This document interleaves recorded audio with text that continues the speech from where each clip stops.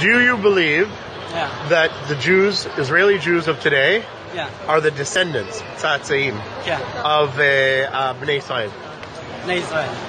Actually, I'm an atheist, and I take all the the Bible stories uh, and all the historian uh, stories uh, not so reliable, Okay. and I don't think it. No, but still genetically. have- genetically. Um, we can't really tell, do we? Because we don't have, uh, not that I know about, uh, a DNA uh, from Bnei Israel, sent, uh, That's true. people in, in that died uh, 20, 2,000 years ago. 2,000 years ago. So we can't really know